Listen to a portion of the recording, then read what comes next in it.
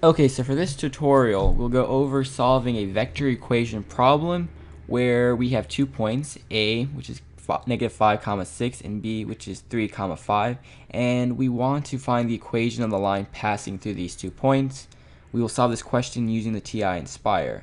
So pause video and record the question.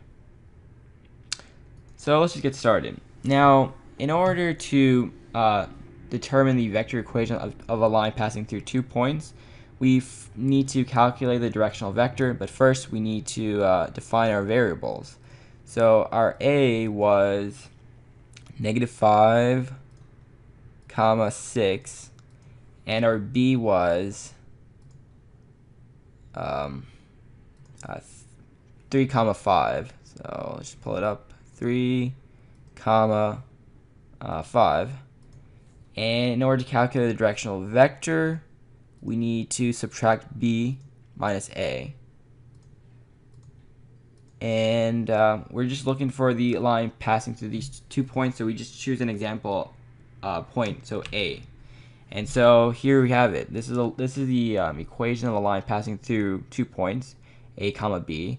Um, we just chose a. We could choose b instead, but that's all there.